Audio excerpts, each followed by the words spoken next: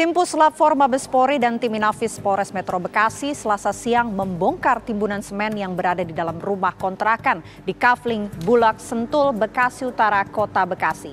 Kedua jasad korban dievakuasi ke Rumah Sakit Polri, Jakarta.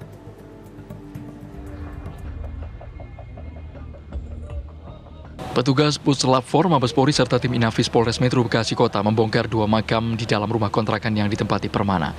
Saat timbunan dibongkar, kedua jasad korban ditumpuk dan ditimbun dengan campuran semen dan kerikil yang ditempatkan di bawah tangga rumah.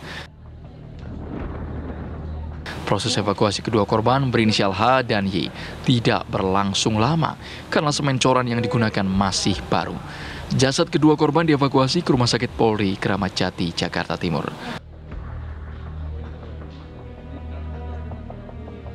Dari keterangan Kapolres Metro Bekasi Kota, saat ini pihak kepolisian masih mendalami peristiwa dugaan pembunuhan di Kapling Bulak Sentul, Jalan Nusantara 3 Bekasi Utara. Dan belum diketahui terdapat luka atau tidak di tubuh kedua korban. Ini kita masih dalam melidik ya, masih semalam baru memeriksa, mengamankan berbagai macam seperti ada senjata tajam dan lain-lain ya. Jadi motor, motor sendiri Pak, motor? Motor diduga milik korban dua orang perempuan yang kita lihat dari data yang ada juga yang dikumpulkan di bawah tangga. Pak Kapolres, ya. ini dua korban ini datang dengan satu motor berboncengan? Dengan berboncengan ya. Kita lihat dari Berarti ada tiga jenazah ya? akan melakukan Pak, apa hubungannya Pak antara korban? Ya nanti. Okay. Hubungan antara korban dengan pelaku juga pelaku nanti masih kita dalam. Pak, kita masih jenis sajamnya sendiri apa Pak? Jenis sajamnya tadi?